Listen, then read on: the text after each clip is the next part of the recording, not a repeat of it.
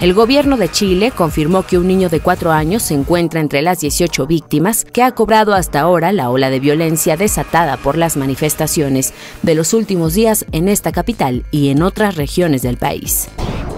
Tras reconocer que las autoridades de Estados Unidos han solicitado a México la extradición de varios criminales, el presidente Obrador advirtió que los procesos deberán cumplir con toda la ruta legal, ya que no entregará a nadie en fast track.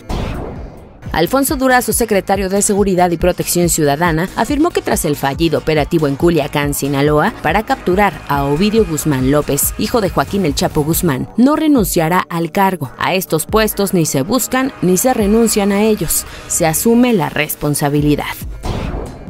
A pesar de que los organismos empresariales lograron diversos cambios a las reformas para combatir empresas fantasma y facturas falsas, aún falta hacer modificaciones en el Código Fiscal para precisar que la nueva ley no irá en contra de los pequeños contribuyentes, dijo el presidente del Consejo Empresarial, Carlos Salazar Lomelín. El gobernador Alfredo del Mazo Maza encabezó la celebración del Día del Médico, donde reconoció a los más de 23 mil doctores que laboran en los distintos centros de salud, hospitales y clínicas de la entidad, quienes a través de su trabajo cuidan la salud y el bienestar de las familias mexiquenses. Noticieros Teleurban